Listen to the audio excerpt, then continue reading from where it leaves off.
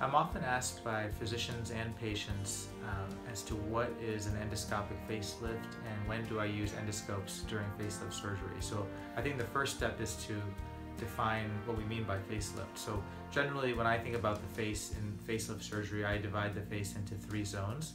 The upper third or the forehead, the cheek area, and the jawline and the neck. And some individuals may need all three areas lifted in what I term a full facelift.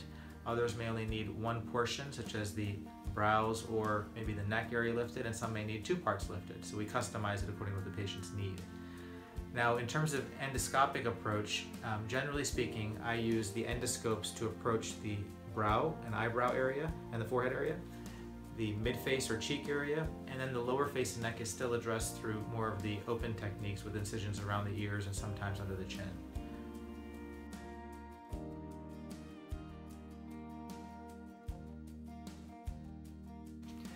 The question often arises is why use endoscopes during facial plastic surgery? And so I can really describe that in four ways, the benefits that is. One is improved visualization. So because we're looking through a magnified telescope, uh, we're able to see structures more clearly and more precisely.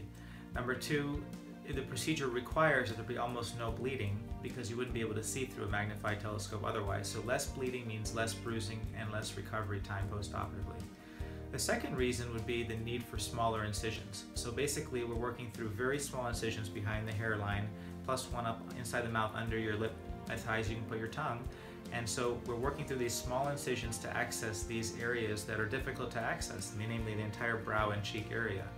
And so because we're using small incisions, um, after all it is plastic surgery, we want very few scars and try to hide them well, but we have any, you know, much lower incidence of any kind of hair loss or numbness afterwards.